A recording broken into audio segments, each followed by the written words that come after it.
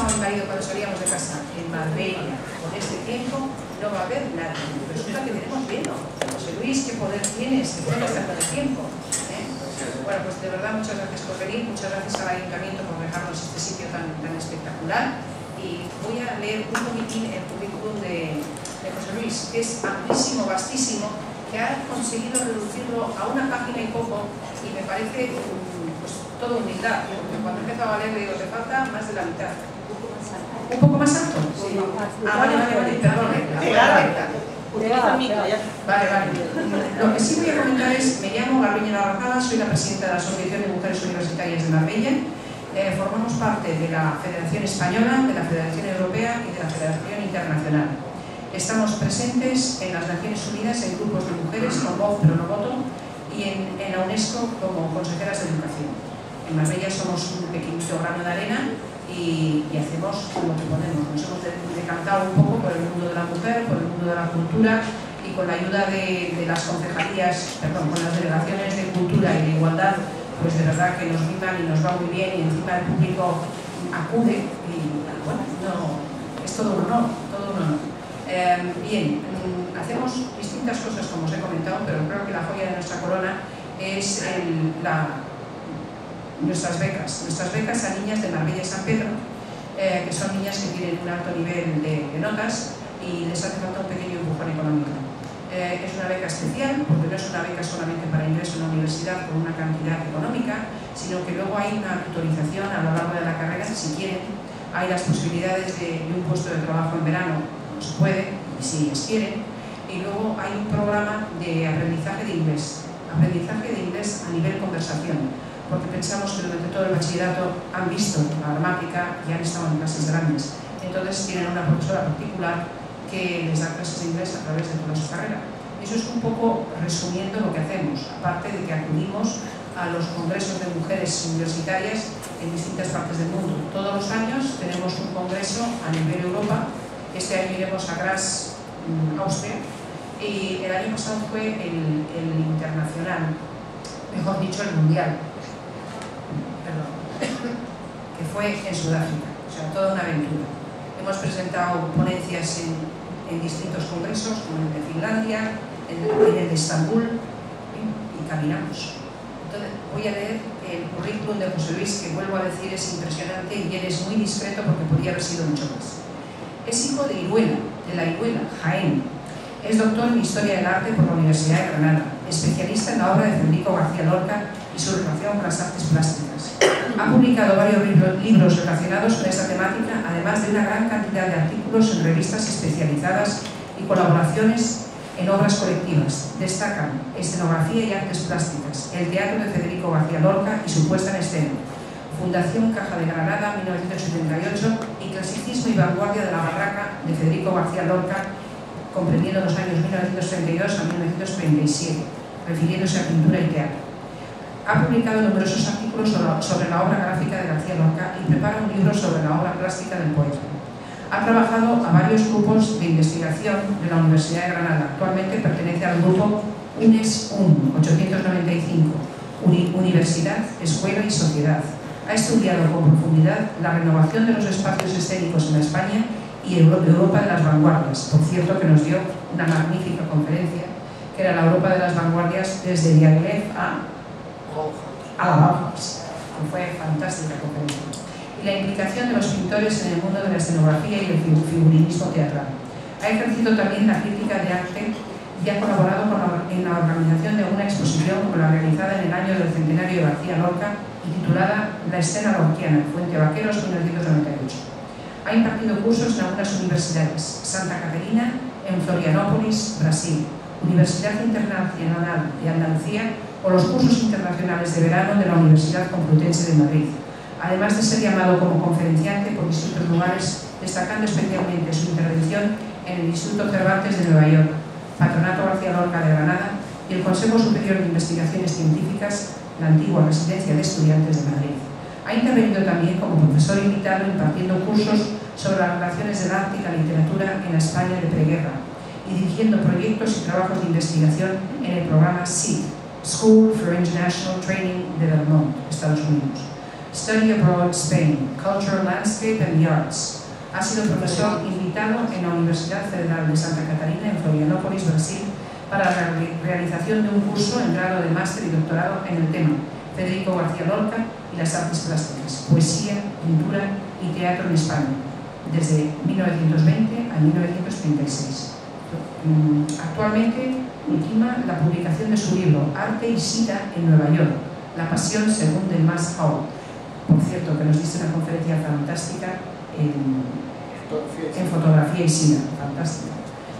Eh, ha sido vocal de la ejecutiva CHA, Comité Español de Historia del Arte, en calidad de representante del colectivo de profesores de Historia del Arte de secundaria y bachillerato en España.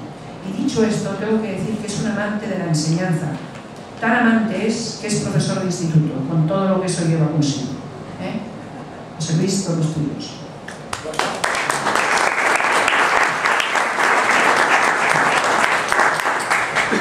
Bien, buenas tardes, se oye bien, ¿no? Eh, primero agradecer bueno, eh, la, presentación de Garniñe, ¿no? siempre generosa, ¿no? y sobre todo la presencia de, de ustedes, de, de nosotros, eh, nosotras porque la tarde me da acompañarme un poco, espero no defraudarle. Creo que el tema bueno, eh, les va a gustar, ¿no? yo voy a intentar poner toda la pasión.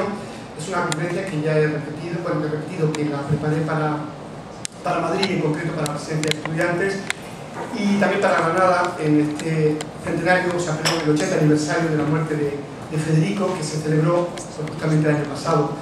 Y bueno, me pidieron darle aquí y encantado, porque realmente este es mi tema. Este es el tema que, bueno, uno de los temas que realmente disfruto y me gusta y sobre todo compartirlo. Porque creo que, eh, a pesar de eh, Federico García, que es, pues, sin duda probablemente el poeta eh, español contemporáneo más universal que hay, doy fe en muchísimos viajes y en sus traducciones, sin embargo su obra gráfica sigue siendo una gran desconocida, ¿no? Y bueno, disfruto de ello, bueno, pues eso, los últimos años de mi vida he dedicado a intentar descubrirla, interpretarla con todo el riesgo que ello supone, ¿no? Sí que me diría que, porque lo que realmente importa, aparte de mis palabras, son las la fotografías. Si se pueden apagar las luces sería ideal, por lo menos, para que se vean bien la, las fotos. Entonces, no sé si está por aquí. No, no, va. Bueno, pues nada. Eh,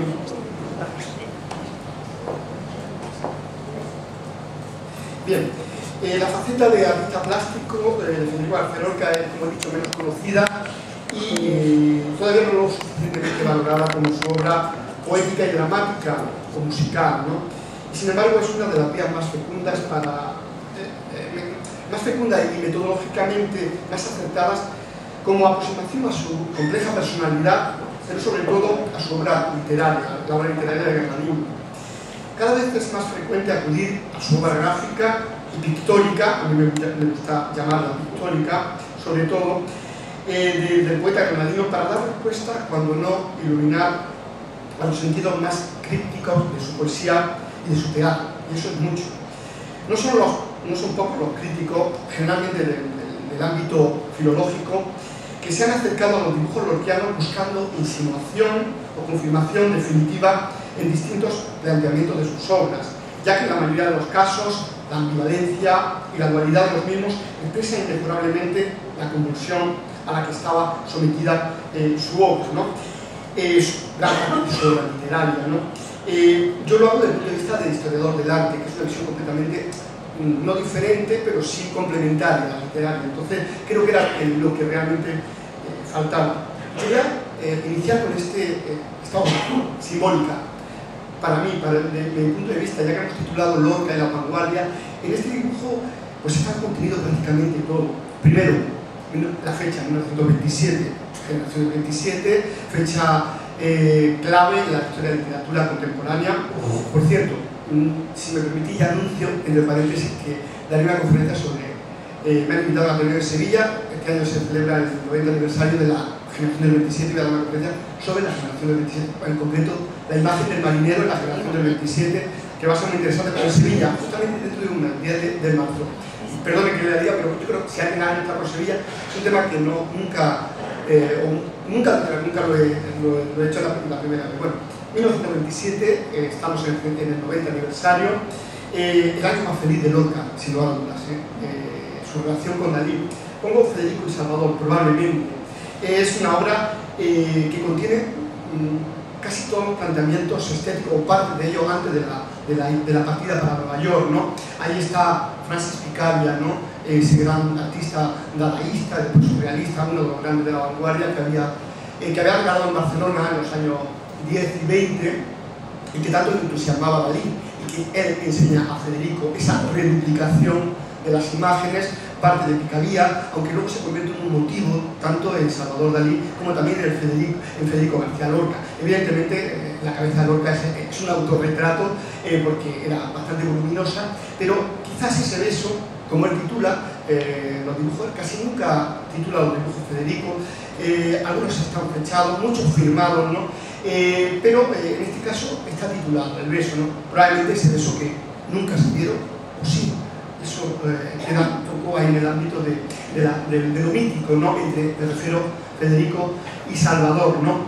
y como no, mm, simbólico también porque es un retrato perteneciente a la única exposición individual que hizo en su vida, que en la Galería Dalmau de Barcelona, ¿no? eh, sin duda alguna la galería más vanguardista de la época en España, donde habían expuesto desde Francis Picabia el joven Picasso, a Kandinsky, ¿no? Y allí exponía Lorca esta, eh, esta obra y otras más que se vendieron completamente, casi todas, algunas andan perdidas por ahí. Los dibujos de Lorca ofrecen eh, un estudio desde la perspectiva visual que brota tanto del pintor como del poeta. Así sus creaciones plásticas iluminan algunos de los símbolos y metáforas del poeta y dramaturgo. Será por esa interrelación creadora como podremos observar en cuanto, cuanto mayor eh, sea el rigor de análisis, más nos adentraremos en el conocimiento de su obra literaria. En este sentido, tal vez sí, el artista eh, con el que exista un paralelismo pleno en la utilización plástica de la imagen como instrumento de comunicación sea la del poeta y también, grandísimo poeta y también pintor romántico inglés William Blake. La, coincidencia más acusada está sin duda en el todo, unitor, todo unitario perdón, que forma texto literario e ilustración. Por eso es esencial, insistimos, en no pasar de dar sus dibujos, me refiero a los dibujos de Lorca, para interpretar su obra poética, como sucede con William Blake. Tanto Blake como Lorca, el fin del arte tanto en Blake como en Lorca, que lo decía, el fin del arte, no consiste en exaltar las manifestaciones visibles, sino en representar a la memoria las cosas que tales manifestaciones significan. Bueno, he traído dos imágenes pertenecientes a la serie que hizo para, para, bueno, bastante, para el, el paraíso perdido de Milton, ¿no? esa, esa, serie magnífica, y también las que hizo para el, Dante, la Divina Comedia eh, de Dante. Esa estrecha relación entre texto e imagen pues se antecede casi dos siglos, a finales del siglo XVIII, y en fin, eso no puedo detenerme mucho, pero vamos, es una, una, relación creo que bastante evidente. Por cierto, Lorca también amaba la poesía de, William Blake. Pero las concomitancias plástico-poéticas eh, entre el inglés y el andaluz no serán las únicas.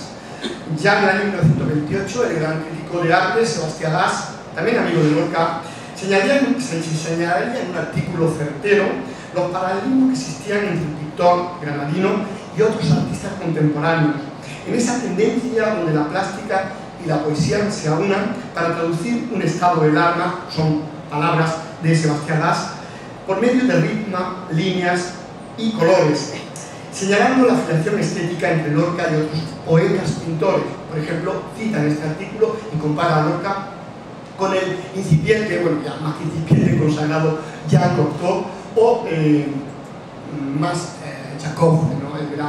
Pintor y poeta judío, también malogrado eh, francés. en esa corriente, tampoco conocida, creo que tampoco estudiada, que en España se llegó a llamar totalismo, ¿no? otroísmo, más de tantos signos que había, pero que de alguna manera es la relación de la pintura y la poesía también se le ha llamado pintura fruta, ¿no? este, este movimiento estético puntual que se desarrolla en, Francia, pero que tiene una repercusión también en, España. ¿no? Insisto, Jacques Thomas Jacobs, que había sido destacado por este prestigioso crítico catalán, precisamente en el contexto de la citada exposición de la Galería Dalmau, es quizá uno de los dibujos más conocidos de Federico, expuesto en el año 27, esta merienda con tantas referencias a tantos artistas, pero sobre todo a uno, al más feliz de todos, a Joan Miró, que era uno de los artistas que más admiraba eh, Federico, bueno, también a autores de la época, bueno, hay muchas referencias históricas de lo que, lo, que luego llegó, a llamarse la Escuela Española de París, ¿no? que surge de, la, la, famosa exposición de, artistas ibéricos del año 1925, en la que Lorca también participó y de la que hablaré, bueno, citaré más eh, adelante, ¿no? Bien, eh, el crítico catalán compara los dibujos de Grenadino con los de Cocteau y los califica de agudos epigramas plásticos. ¿no? Como apuntabas, en eh, los dibujos de Lorca decía, hay mucha poesía, pero también hay mucha plástica. Es probable que el poeta más altamente visualista de la generación del 27 sea sin duda eh, Federico García Lorca, poeta de los cinco sentidos, con la vista encabezando los cuatro, pero también es verdad que no será el único que enlaza poesía y arte, palabra o mirada. La eclosión de las vanguardias dio lugar a una red de coyunturas que fue muy favorable para las convergencias entre literatos y artistas, de poetas y artistas principalmente. También encontraremos numerosos escritores y artistas que desarrollarán simultáneamente palabras e imágenes visuales. Es de sobra conocido el caso de Rafael Alberti, quizá no lo suficientemente estudiado. Yo siempre animo a los alumnos que que piensan hacer una, tesis doctoral que la hagan de Rafael Alberti, que estudien su obra pictórica, ¿no? que la obra poética está bastante estudiada, un autor nunca está bastante estudiado, pero sea muy interesante porque, en fin, su obra está por catalogar, pero también como no, el gran eh, también poeta y pintor José de Moreno Villa, que bueno, amigo de Federico y eh, director de la residencia estudiante durante un tiempo y que tantos mm, ratos agradables pasó en Madrid o también amigo, que Lorca tuvo tantos amigos, el escritor y poeta también de Gabriel García Maroto, en estas pervenas de Madrid, como no, el poeta ultraísta Adriano del Valle, un collage de abajo con el gran banquete o un bodegón del año 28, ¿no? de más o menos la misma época, para culminar entre, tantísimos eh, eh, escritores que se acercan a la, a la obra plástica, Ah, bueno, yo creo que a pesar de que después se le criticó mucho el Neto Jiménez Caballero, aparte de ser un gran escritor y, haber tenido una de las revistas literarias más importantes de España, hasta que se convierte en, el, solitario, en el, Robinson, como él mismo lleva además por cuestiones puramente políticas, bueno, recaló en, filiaciones fascistas, pero eh, Jiménez Caballero mm, se acercó también a la plástica a través de estos collages y, como no, dedicó en el año 27 en sus famosos carteles literarios eh, que se pusieron no hace mucho tiempo, hace un par de años, todos en, la presencia de estudiantes en Madrid, eh, donde saqué esta foto, ¿no? que ve uno dedicado al persona del futurista Marinetti, también del 27, y el poeta López, veíamos las referencias de, bueno, del romancero gitano, acababa de triunfar con la publicación del romancero gitano, el Guardia Civil, Fila Manola, el abanico, topicazo total, ¿no? pero bueno, eh, era la época, ¿no? Y era lo que, lo que se estaba diciendo de su obra, ¿no? Yo creo que Jiménez Caballero va, va mucho más allá, porque de tonto no menos pero, era una persona bastante inteligente, ¿no? Los dibujos de García Lorca responden a muy variadas y diversas eh, motivaciones. En este sentido, lo que en un principio parecía solamente un, entretenimiento casual, con el tiempo se convertiría en una forma de expresión personal y autónoma, llegando a ser una manifestación tan importante desde el punto de vista creativo como lo fue la poesía como lo fue la música, como fue el teatro o la dirección escénica, ¿no? Y olvidemos que Lorca también llegó a dirigir varias, obras suyas, a co-dirigir y, por supuesto, el director de La Barraca, que es su gran obra, sin lugar a dudas. Su dibujo se convierte en una parte esencial del modo creativo, ¿no? Otra vez acudimos a Teorema de la Copa de la Mandolina, a otro dibujo expuesto en Dalmau, también eh, bueno, conservado afortunadamente la Fundación García Lorca, o sea, que se conserva, en fin, con tantísimas referencias plásticas a ese momento, a, ese totalismo, esa relación pintura-poesía, y con tantas referencias a los pintores contemporáneos de la época, ¿no? Insisto, cada vez se decanta hacia una expresión cada vez más exigente, que se apoyará en el contexto moderno y enormemente activo al que se sentiría muy pronto ligado por amistad o coincidencias estéticas. Voy a hacer un leve acercamiento de los dibujos eh, para el teatro. Esto daría para una conferencia no, para varias quizás, ¿no? pero mmm, no puedo pasar de largo sin hacer una, un breve apunte sobre sus primeros dibujos. No me voy a detener mucho en ello. Él ya sabe que desde el principio, cada vez que escribe una obra, ya está pensando en cómo va a montar y siempre hacía bocetos, eh, decorados, muchos de ellos se conservan, otros están perdidos, algunos conocemos por, eh, por fotocopias que se han conservado, estos están en la Fundación eh, García Lorca, ¿no? del año 21 y 24, muy, muy primigenio, sobre todo el que de burla de ahí, donde ya idea cómo tiene que montar esta escena, ¿no? Pero, cómo no, antes hemos citado, citado la Villa y los rusos, fundamental, no me puedo detener en ella, porque eh, a Lorca no se entiende del ruso, bueno, yo creo que a toda la vanguardia, casi en, en, Europa, pero especialmente en España, donde recalan durante dos años, viven aquí, y bueno, tienen la suerte de verlos, bueno, no solo que eh, Gregorio Martínez Sierra va a estrenar su primera obra, con la mariposa, y que eh, todo ese concepto de esplendor modernista de los padres rusos recala, y bueno, y evidentemente a partir de la visión, por ejemplo, de este Shelezade, ¿no? Eh, bueno, de los montones de fotografías que se conservan de esta maravillosa, eh, bueno, aquí no había decorado, es la Alhambra, evidentemente, es el patio de los leones, y se, se vistieron con los maravillosos eh, trajes diseñados por el gran figurista Leo Max, y eh, bueno, es que esto lo vio Lorca, ¿no? Bueno, si han leído La moneda perdida de Rafael Alberti, él también yo no estoy muy seguro que, que Alberti lo viera, no estoy muy seguro, pero no cuenta su arboleda perdida en el primero en el que él acompañaba a Federico y vio eh, esta puesta en escena. No sé, tengo mi duda porque Rafael Alberti omite muchas cosas en, en, la arboleda perdida y miente bastante, como por cierto hacen todos, ¿no? realmente todo en sus memorias. ¿no? Pero en este caso sería lo de menos. Lo que sí que es cierto es que lo diga Alberti, la impresión que le causa Lorca ver esto, ¿no? y luego acercarse a todo este mundo. Recordemos que los valores de, de, trabajaron los mejores artistas de la vanguardia, bueno, de la vanguardia y, no de la, y, de, y, de, y de la nueva vanguardia, ¿no? Bueno, unas figurines de Geobax, ¿no? Eh, que luego tendrán esa impronta y que, y que, bueno, que recalarán en todo material del artista, especialmente en Federico, ¿no? Pero sobre todo, el sentido de la puesta en escena y la, de, de, ese concepto valeriano recuperado por Valer Russo del teatro total, ¿no? donde la música, la danza, la poesía, la pintura se aunaban en uno, ¿no? Bueno, consiguió Wagner y pocos más, ¿no? Bueno, Picasso, Parad, como no vamos a hablar de Picasso y de ese, ese montaje tan vanguardista, todavía resulta vanguardista, todavía resulta eh, casi casi un desequilibrio, por, por ver lo que se ha, puesto en escena alguna vez y, se sigue abucheando un ballet que creo que no se comprendió en su época, que se sigue sin comprender porque lo que hace Picasso nada más y nada menos que subir el mismo a escena, que avanza el turismo, que lo pone a avanzar, ¿no? Con esa magnífica música de Dixon. Y bueno, no me quiero detener mucho. Traía la edificio de mariposa, ¿no? Eh, una fotografía, ahora se ha, recuperado hace un par de años otra nueva, eh, que es mucho más evidente que esta, hasta la publicó la en el año 1920, bueno, donde aparecen eh, los decorados, los figurines de Miñón y Fontanás, que luego trabajaron con Lorca, y aquí estos figurines de barradas, ¿no? Fundamental la formación plástica de Lorca, fundamental, ¿no? Todo dibujito que se conserva, bueno, dibujito, son dibujitos, pero bueno, hay muchos esas, esos garabatitos, ¿no? Eh, están hablando de una poética muy poderosa que es el vibracionismo, ¿no? Y que eh, deriva del futurismo italiano, que él conocía eh, cuando, por su viaje por Italia y por Alemania, ¿no? Cómo no, pues un figurín para ballet, ¿no? Del año 26, ¿no? De esos, eh, esos eh, influencia cronista, ¿no? Del ballet ruso, en fin, eh, un ensayo con ese abanico omnipresente de muchos de los clones.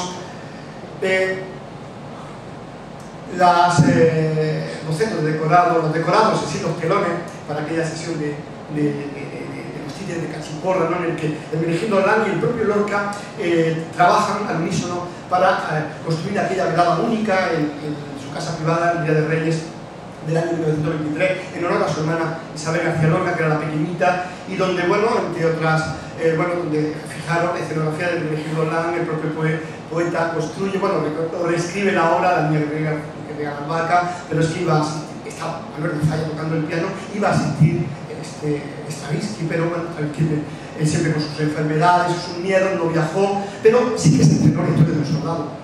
Por primera vez, eh, bueno, parte no entera, esa tarde, ahí en, en, la, en la casa de Federico García Lorca. Bueno, yo creo que es una uno de los acontecimientos más felices de, de, de la vanguardia granadina, sí que se puede hablar, pero todo un lujo, ¿no? Bueno, algunas escenas más que tienen que ver, y esos ensayos, aquí en el Misterio de los Reyes Magos, ¿no? Ese teatro planista maravilloso, foto real y, eh, bueno, foto real las dos, eh, eh, la figura del teatro planista todavía en las manos de los herederos de Hermenegildo Lang, una foto publicada, curiosamente, en el año 28 en la, en la enciclopedia en Pasacalpe, ¿no? O sea, aquí estamos el árbol sol, la luna, en fin, eh, en este repaso rápido del teatro lorquiano, bueno, pues, algunos dibujos de diseño que se conservan para eh, Mariana Pineda, para escena Mariana Pineda, que luego lleva a escena Salvador Dalí, sin detenernos mucho, o los maravillosos figurines para la partida prodigiosa, la versión de 1930, afortunadamente ya eh, en el Museo del Teatro de Almagro, porque bueno, se, había un, era una colección privada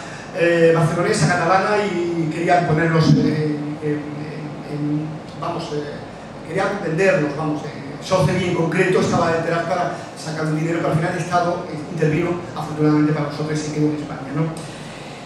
Cómo no, el, el amor de le implico, Melissa su jardín, mmm, de lo que no se ha conservado ningún dibujo, que sepamos hasta ahora, podrían aparecer, ojalá, eh, y diseño de decorado del montaje del 33, ¿no? pero sí ese trajecito de, de de, Perlintín, los cuernos que se conservan en Nueva York, en el Bernard Collins, ¿no? Eh, que bueno, eh, Margarita Ocelay lo conservó y luego su hija, pero Pura Ocelay lo conservó su hija, que fue profesora en, en la Universidad de Columbia, en el Bernard Collins de, femenino, y ahí se conservan. ¿no? Por supuesto, aquí está todo Picasso y aquí está todo el padre ruso. 12 culines que realiza Lorca para la prueba de Salamanca, ¿no? En fin, estamos acercándonos, o estamos, digamos, viendo esta faceta realmente fabulosa. Son eh, cuatro figurines que se conservan en la Vuelta de San Vicente, en Granada, realmente maravillosos y que tanto dicen de los valeros y sobre todo de Picasso, que traigo estos, estos figurines para el ticón, el, el, el sombrero de tres picos, que fue esa obra que tanto ha eh, bueno, tantas satisfacciones le dio a Manuel Falle, que fue estrenado en Londres en el año 1919 con figurines de Picasso, o sea, que, en fin, palabras mayores.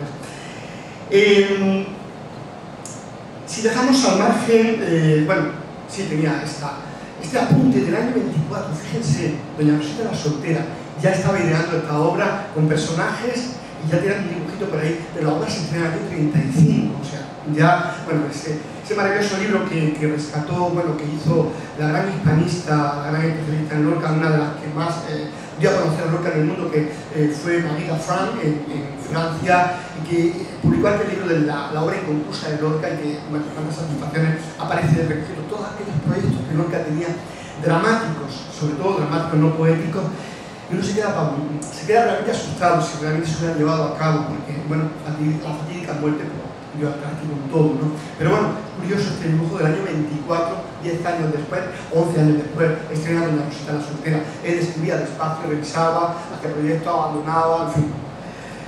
Decía que si dejamos al margen la confección de figurines decorados, diseños escenográficos, que hemos repasado rápidamente, que lo que organizaría para algunos de sus montajes teatrales, hay que notar una gran cantidad de dibujos que existen ilustran o decoran cartas como esta, esta carta del año 1923, fijaros, a su amigo Melchor Fernández Almagro, de Granada, donde ya le habla de, de, un proyecto de hacer una obra que se va a llamar La Pineda, que va a estudiar, eh, que va a poner en escena, no se sabe cuándo, estaba en la dictadura de Primo de Rivera, ojo, entonces las cosas son un poco eh, complicadas, y eh, bueno, estaba, relata la maravillosa carta y el dibujo ingenuista, ¿no? Eh, entre comillas, no en Lorca ni nada ingenuo, pero bueno, está hablándole y ya idea la puesta en escena y la, y la, y la dibuja en una carta que se conserva en la Casa de los Tiros en Granada, en fin, eh, que pude fotografiar en su, en su tiempo, ¿no?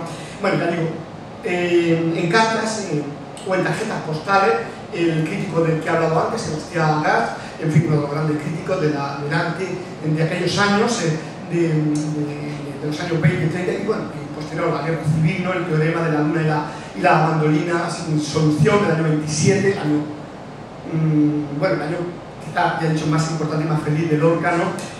o eh, los que, bueno, ilustran poemas, ¿no? Este, el que ilustraba la, la Oda Walt Whitman, eh, publicada en el, Alcancía en el año 33 en México y que luego regala, a Bebe Morla Lynch, Bebe Morla es la mujer de Carlos Morla Lynch, que es el embajador de mmm, Santiago de Chile, de Chile eh, en España y que tiene un libro que les recomiendo que es eh, Federico su mundo, bueno, no sé exactamente, bueno, es una biografía, eh, una, las memorias de él, pero mm, de es una maravilla porque nos enteran muchas cosas de, de Federico bastante íntimas. Bueno, este Walt Whitman, ¿no? Bueno, ilustra otro, eh, ese, ese, poema que se, edita en la alcancía del año 33, lo único que publicó de Poeta Nueva York en vida. Después, Poeta Nueva York publicado, quizá erróneamente, a pesar de que se ha hecho multitud de versiones, nunca Lorca dio su, su, versión definitiva, simplemente dejó al escritor, eh, no recuerdo ahora mismo el nombre, eh, que es más, pero no porque después de exilio, le dio los poemas y, le dijo, bueno, aquí tienes esto, pero no se pierda, ¿no? pero después se publicó sin un orden, ¿no? O aquellos que eh, decoran, decoran, poemas, ¿no? Como este eh, viñeta de Marcelo Vitalo que luego regaló a Pepe Caballero, José Caballero, el gran pintor que, colaboró en la, barroca, en la barraca, ¿no? Bien, pero mmm, digamos, eh, los, eh, los dibujos que, ah, bueno, todos nos interesan, pero que más nos van a interesar y los que nos vamos a más detener son aquellas aquellas que hemos considerado como mayor entidad, aquellos que él quería exponer como artista, como, pintor, por su carácter autónomo, ¿no? porque están firmados, porque fueron hechos para ser expuestos, en la que nos vamos a centrar, aunque insistamos, sobre la relación con su quehacer literario o los valores cromáticos de su producción poética. Existen multitud eh, de testimonios, lo suficientemente glosados y reproducidos, que evidencian la importancia que el granadino concedió al dibujo. ¿no? Lorca asumió eh, una indudable conciencia profesional como artista, eh, que se materializó en la citada exposición de la Gran de Almau, al que pertenece este y otros que hemos visto, y otros más de mm, Barcelona. ¿no? Eh, bueno, vemos algunos más, el dedicado al poeta Foss, eh, Naturaleza Muerta, con, con derivaciones cubistas también, o más expresionistas, no se conserva el original, es una fotocopia que se conserva en la Fundación García Lorca, la musa de Berlín, donde vemos que a veces Lorca, bueno, pues es utilizaba esa estética a veces contradictoria en el mismo, en el mismo momento. O bueno, el mundo del clon también expuesto en, en, en la Galería de Almao, donde, bueno, según mantiene Ian Gibson, no estoy yo muy seguro, pero probablemente en ese abanico aparece un retrato de, de Salvador Dalí, no sabría de, no sabría, no me atrevería, o esta naturaleza muerta, fantástica, ¿no? en, en, un dibujo mucho más, eh, eh, digamos, trabajado, porque mete acuarela, mete tinta china, mete colores, en fin, con todas las connotaciones eh, crísticas que aparecen en el pez y, la hostia, ¿no? Además, muy, muy, eh, muy presente en la obra de Lorca, pero con una lectura nada religiosa, me temo, ¿no? sino más bien transgresora. Hubo otra exposición en el año 32 colectiva, eh, junto con Pedro Caballero, Pablo Porras, en Huelva, ¿no? Pero fue colectiva. Entonces, eh, donde se pusieron algunos dibujos, muchos traídos de Nueva York, algunos perdidos y otros que se conservan y que veremos detrás, ¿no? Otro dato significativo del de valor que Lorca le da a sus dibujos, a, a, esta actividad creativa, es el hecho de que la mayoría de los dibujos aparezcan firmados, ¿no? En dichas exposiciones, estuvieran firmados, dejando constancia de su autoría y la satisfacción por la labor hecha. Creemos conveniente evocar aquellas palabras enviadas por carta a su amigo Sebastián Gas, de nuevo confesándole el extraordinario, son palabras de Federico, regocijo que le causa verse tratado como pintor en las varias críticas que se hicieron, la que dedicó Sebastián Gas, la que dedicó Dalí, maravilloso texto de Dalí, y las que le dedicaron bueno, otros críticos catalanes como Rafael Benet, etc. ¿no? Estilísticamente los dibujos de Federico de Lorca muestran una gran variedad, respondiendo en ocasiones a distintas y contradictorias estéticas, aunque podríamos simplificarlo en dos líneas, simplificar muchísimo, en dos líneas generales de creación, con multitud de ramificaciones, que irían desde el cubismo, podría pertenecer este dibujo perfectamente a esa poética cubista, reinterpretada a su estilo y año posterior, como no, al creacionismo baladiano, este maravilloso Adelquín ahogado en este espejo roto, ¿no? totalmente vibracionista. Yo creo que es uno de los grandes hallazgos plásticos de Lorca, sin lugar a dudas, pasando por la abstracción. Creo que algunos de sus, de hallazgos plásticos más importantes están precisamente en la abstracción, esa, en, esa, en, ese sintetismo de la línea inequívoca, esta canción del año el 27 me parece, bueno, que, lo que él mismo calificaba, sus poemas visuales, ¿no? Eh, mm, digamos que eh, muchos de estos dibujos responden, eh, digo, mm, no todos, a obras como Romancero Gitano, Mariana Pineda, Poema del Cantejón, las realizadas antes del viaje a Nueva York, donde luego cambia, ¿no? A partir de 1929 y del regreso a Nueva York, su obra plástica y de luego literaria cambia. Pero bueno, siempre está dando salto y atrás, muy difícil, eh, no sé, a veces mm, el orden evoluciona, bueno, evoluciona como todo, ¿no? Pero mm, de pronto, bueno, en el año 34 vuelve otra vez al cubismo, o en fin, no, no lo abandona nunca ninguna de las poéticas, por eso a veces es contradictorio, ¿no? Bueno, por ejemplo, eh, el surrealismo como no, surrealismo al que siempre, siempre no detestó, pero nunca se llegó a identificar, nunca, nunca en su obra, bueno, miento, hasta ahora, solo una vez aparece la palabra surrealista y aparece un dibujo, creo que lo vamos a ver después, lo titula Poema Surrealista, porque no le gustó los derroteros que tomaron después del surrealismo, pero evidentemente su obra no se entiende sin el surrealismo, eso es en sí, ni él ni la de todos sus contemporáneos, ¿no? Esta danza macabra, o este, eh, esta bátita, sin lugar a dudas, de gran tradición eh, barroca, hispánica, ¿no? este hombre muerto también de, gran influencia expresionista, como no.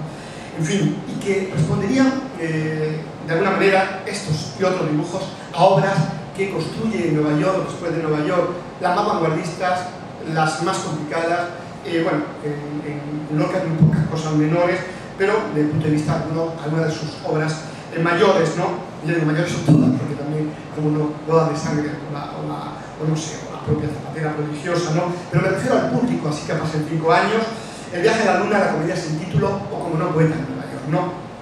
estos dos bloques, en torno a todos estos dos bloques, eh, eh, digamos, circularán su obra plástica.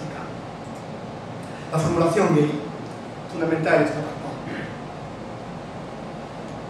Aunque quizá hubiera sido más aceptado poner la, la formulación homosexual, pero bueno, no vamos a meter en conceptualización actual de género, y, pero bueno, yo la he puesto así, quizá, quizá me haya equivocado porque es un concepto posterior la posmodernidad, después de 1969, eso pudo surgir en Nueva York, pero en fin, creo que, bueno, que ya se ha sido estudiado así y la, vamos a dejar.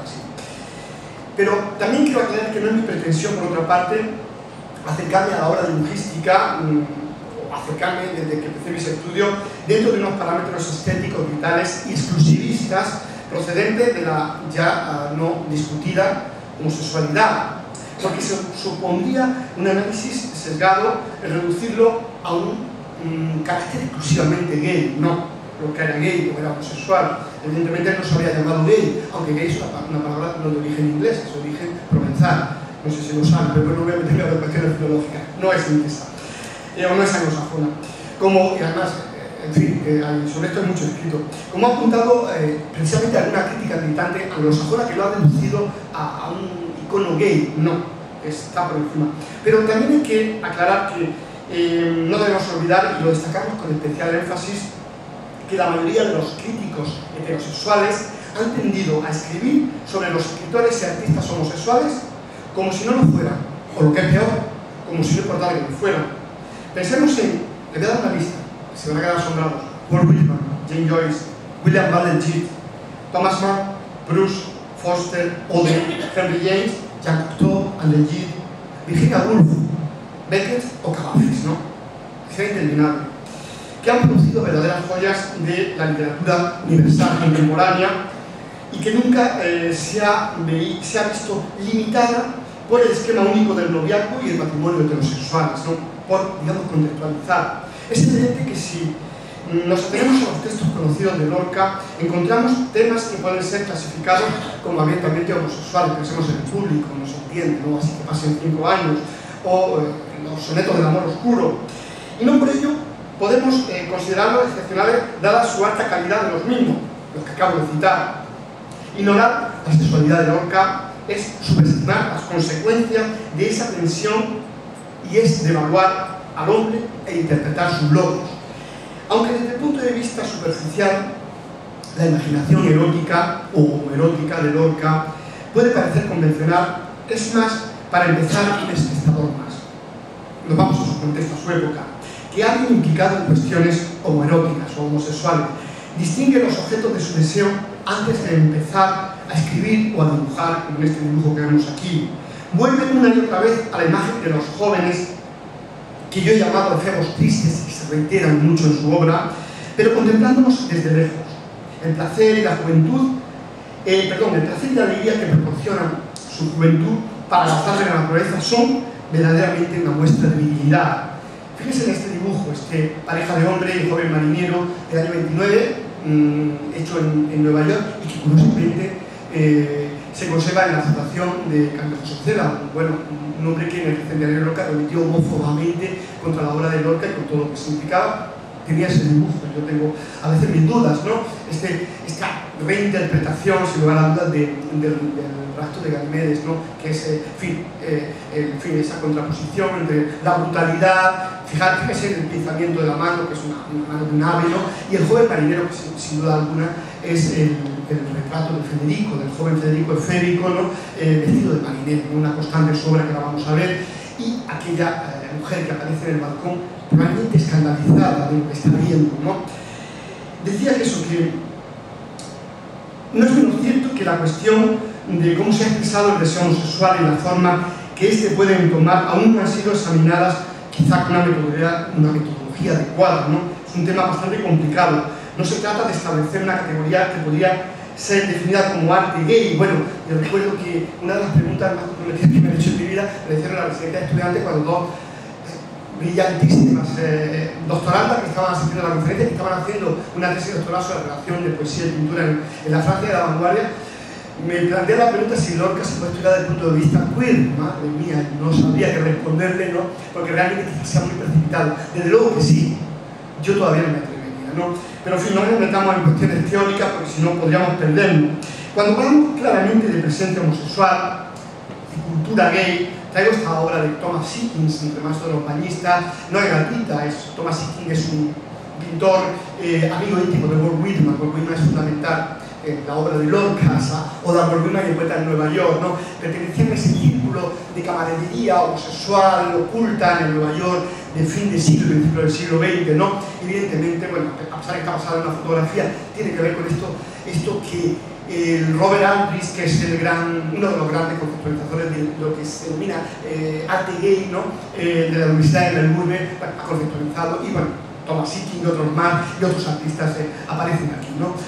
Eh, lo queer aparece mucho después, en los años 80 y 90, ¿no? Por eso traía este retrato de alcancía, otra diferente también, eh, dedicada a Bebe Morla, esta fotografía de, de, Walt Whitman con esas mariposas en la barba, ¿no? Con ese fragmento de no solo, ni un solo momento viejo Walt Whitman ha dejado de ver tu barba llena de mariposas, no consigues bueno, eh, ese canto que la oda Walt Whitman, tan contradictoria por otra parte, ¿no? y que no podemos detenernos a estudiar ahora, ¿no? Ya digo, cuando hablamos claramente de la presencia homosexual en las canciones plásticas del granadino, el concepto eh, de que el arte está alejado de la vida diaria se ve desafiado y se discute el argumento formalista que coloca el énfasis en el estudio de los elementos estilísticos más que del contenido propio eh, del arte. ¿no? Este dibujo desaparecido, pero que tenemos referencia por Mathilde Pomés, Mathilde Pomés es una hispanista francesa que roba a Lorca en una, en la, eh, cuando va a la residencia de estudiantes del año 29-31, probablemente realizado en el viaje de Nueva York, pero que conservamos una fotocopia. Está perdido, está guardado por ahí, pero da la, la, la, noticia la da Eutilio Martín hace muchos años y es un dibujo que realmente es evidente, el joven Lorca de nuevo, ese joven marinero acosado por tres marineros evidentemente eh, forzudos, eh, que además representan los tres continentes, el oriental, el caucásico y el negroide, ¿no ves los rasgos, eh, los rasgos de, la, de, las caras? Y ese eh, joven marinero Federico, en el que una mano se va hacia los genitales, evidentemente es un dibujo homosexual, ¿no? como erótico, sí. ¿Eso más de homosexualidad no es pederastia? Uy, qué, qué, qué pregunta me haces ahora. Bueno, es que no se debe confundir. Ya. No, ya, ya no sé. Bueno, lo dejamos para el final, no sabía yo. No sé si pederastia, no. Yo no. No del concepto de pederastia que se está utilizando. Si, es que si lo ponemos así, Platón era pedrastra, o sea, sin embargo se sigue estudiando en las universidades, ¿no? Eran son distintos contextos. No creo que, que vayan por ahí los tiros en este caso, ¿no? Es un joven feo, que, en fin, eso lo marca la legislación. Yo ahí me pierdo, estoy hablando de estética, de arte, ¿no? Yo ya en cuestiones legales no me meto, no sé, eso es una cosa muy complicada, ¿no? no me atrevería. Sí, verdad que esa cosa, al fin y al cabo, Lorca se sintió intimidado por la sociedad de su tiempo, ¿no? Y podría ser, pues, el acoso que representa a la sociedad también, heterosexista y machista de la época, ¿no? Al fin y al cabo, podría entenderse de esa manera, ¿por qué no? ¿Por qué no? Yo vamos, podría entenderse. Eh, en fin, ahí no se le ve la cara muy disgustado al joven marinero. No, sé, no lo sé, es una, una apreciación mía. En fin, en la imaginación, no sé. Eh, no sé si conocen el público. En el público está todo. O sea, en el público está todo. Está, la pedastia, está, eh, está a ver, todas las vejaciones que se pueden producir en arte masoquismo, sadomasoquismo, eh, casi la zoofilia. O sea, eh, y bueno, todos los... está contenida en el público, ¿eh? Pasa que sutilmente, en fin, el público es una obra muy compleja, ¿eh? que habla, o sea, hablando sobre todo su libertad, pero creo que sería salir un poco del tema y sería muy complicado, pero que se contextualiza, evidentemente este, probablemente este de la época neoyorquina, ¿no? que tiene ese contenido, en fin. Eh, bueno, el hecho de que sepamos que el granadino fuera homosexual no pretende, como he dicho al principio, que intentemos explicar toda su obra en este sentido, no, sería un error, ni sugerir el contexto concreto desde el cual esta obra se ha de contemplar, aunque todavía y esto sí que es importante decirlo, hay quien encuentra posible amar la obra de Federico al tiempo que rehúsa aceptar su condición de homosexual como elemento, como elemento integral e, e inseparable de su arte. Eso es un error. Se trataría más bien del principio de un proceso para volver a empezar lo que ha sido omitido durante todos eh, tantos años, porque cualquier recuperación de Lorca, de Lorca de cualquier otro artista homosexual, artista, mujer o hombre, eh, que desplace o niegue su sexualidad, también niega la realidad de su vida, en este caso de Lorca, de su muerte. Por eso consideramos examinar su obra plástica a fin de intersacar su significado más amplio y rico en la identificación, en una expresión homoerótica un tanto enmascarada. Traía esta, esta fotografía también de Scott Tuck, que es un, pintor también de, ese ámbito de Walt Whitman, ¿no? y que tiene que ver eh, que, que, Robert eh, eh, lo coloca en esta conceptualización del arte gay, también de la poesía y literatura. ¿no? Eh, amigo también de Walt Whitman. ¿no? A ver, parece que se ha quedado esto. se ha quedado bloqueado. A ver. Pues será todo, lo que estamos diciendo que se ha quedado, se ha quedado se ha quedado bloqueado esto. El ordenador no pasa nada. A ver si alguien que si no. No sé si apenas. Pues vamos a ver. Ah, mira, aquí está. Aquí, aquí, aquí, aquí. aquí esto quizá ahora. bueno, vale.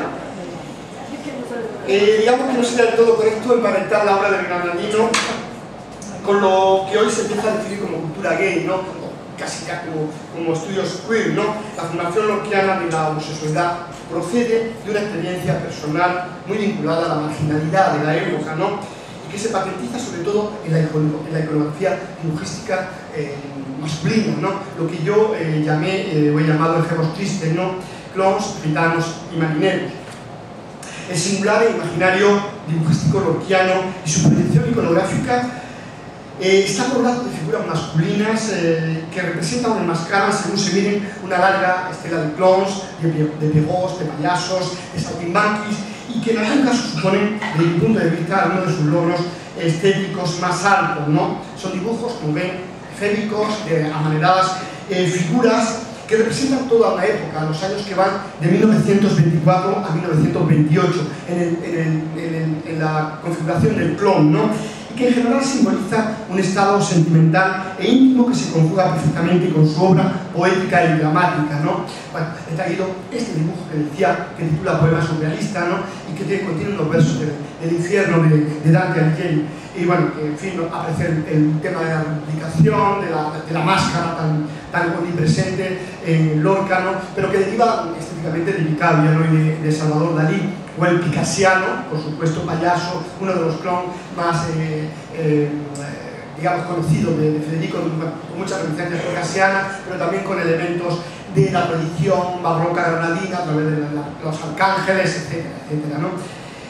Eh, este, este maravilloso dibujo, sin lugar a uno de mis preferidos, el payaso de rostro de Trovado en Cádiz, con toda esa carga crística de la máscara que se cae llorando sangre y que se vierte en el Cádiz. Bueno, el elemento crístico es fundamental en la obra de Lorca, ¿no? Hay afortunadamente un gran libro de Eutimio Martín que reivindico el quinto evangelio, leanlo para que vean la complejidad, donde llega Lorca con su, con su obra y la gorguera asfixiante, constante en, marineros, en clones, en gitanos, gitanos no tanto, pero sobre todo en clones, esa gorguera que asfixia ¿no? que tanto ha sido bueno, estudiado no ya por psicoanalistas, no en la obra de Lorca, sino en general, ¿no? esa castración, eh, en este caso homoerótica, había que decir. ¿no?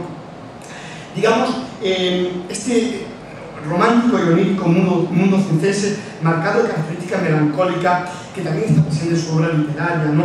Eh, todo un mundo que deriva de, de, muchas, de, muchas derivaciones, valga la, la, redundancia, pero sobre todo Rafael Pérez Barrada, que tanto, al que tanto le debe Lorca, Dalí, los artistas españoles de la época, el gran animador de la vanguardia, ¿no? a través de sus eh, invenciones eh, y a su, a nuevo signo, el vibracionismo, por ejemplo, que deriva del futurismo y cubo, y cubismo italiano, que, perdón, sí, cubismo italiano, futurismo italiano, ¿no? Eh, y clonismo quería decir clonismo, otro ismo que inventa este señor, este, este uruguayo, recalado después de haber recorrido toda Europa, recala en España, muere en el año 29, luego lo recala en, el, en, el, cementerio del museo en Uruguay, cuando va a visitar, cuando va a Argentina, va a Uruguay, va a hacer una visita, llevar un ramo de flores y hacerle un, un, lamento realmente maravilloso donde dice y se lamenta ante la tumba de Rafael Pérez Barrada de que aquí en España lo habían dejado morir de hambre, siendo quizá uno de los artistas más importantes de la época. Sin esto no se entiende la obra plástica de la época, ¿eh? sin Barrada, sin lugar a dudas. ¿no? Aquí tenemos que es un retrato cronista, ¿no? retrato de que se reduce solo la cara y se quedan como los clones, las cejas de arriba. ¿no?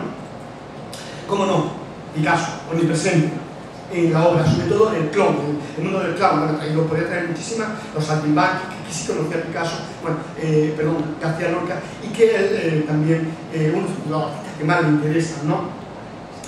Pero aparte de Picasso será el elemento de la máscara, el, el que se elija y represente grotescamente en distintas secuencias, ¿no?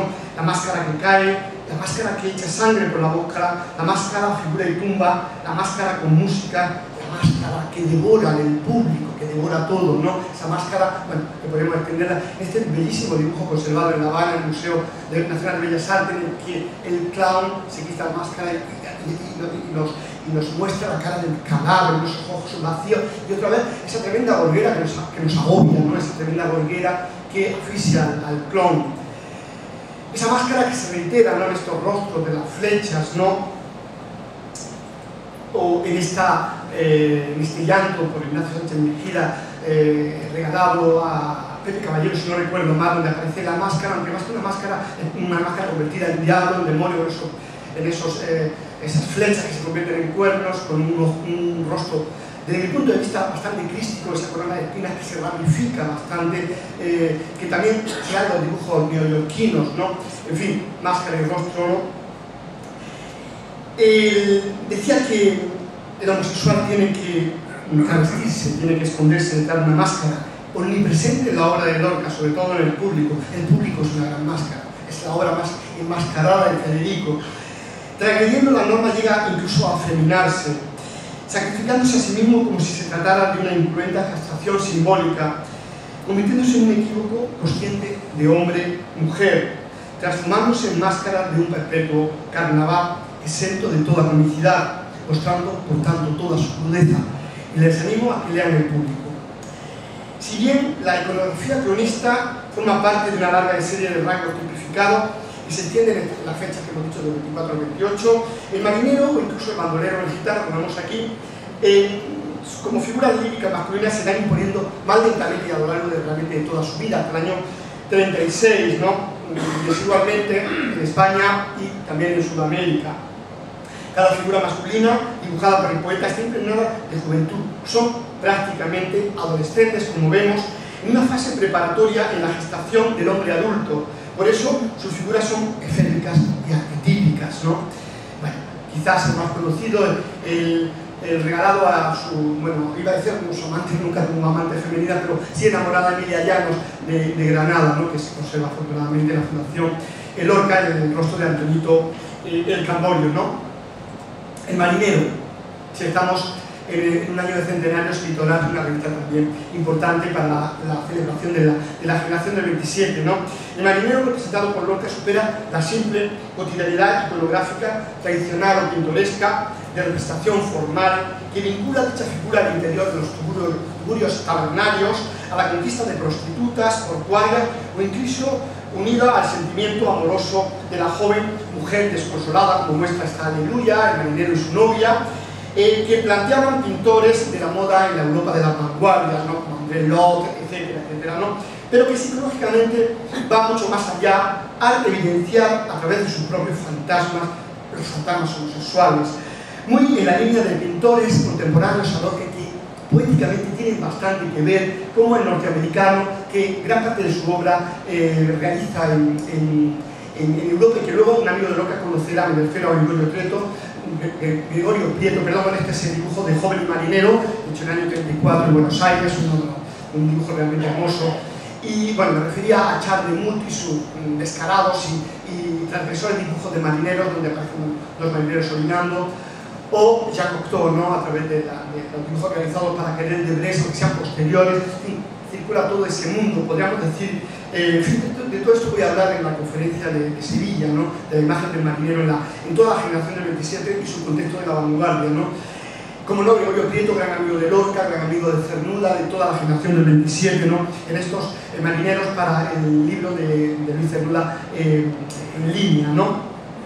El tema del marinero, al igual que el clown o el gitano, en la obra plástica norteana adquiere diferentes connotaciones que hacen que la propia iconografía del marinero se vaya fraguando de manera compleja y a veces incluso dispara. La desolación evocadora, sin embargo, impregna la mayoría de estos dibujos no le hacen abandonar nunca el sentido melancólico y triste que queda plasmado desde sus primeras realizaciones que hemos visto hasta las, digamos, revelaciones poéticas que proyectan los dibujos realizados en Argentina, como estos un mundo donde la soledad y la lejanía que simboliza a estos personajes nos acerca a un callejón sin salida único futuro incierto del camino errabundo que evoca siempre el mar.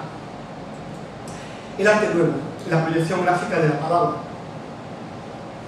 Voy a ir un poco más rápido, simplemente detener un poco en algunos de los amigos y grandes artistas que colaboraron con Lorca, la lista sería interminable, pero directamente, por ejemplo, Benjamín Palencia, ¿no?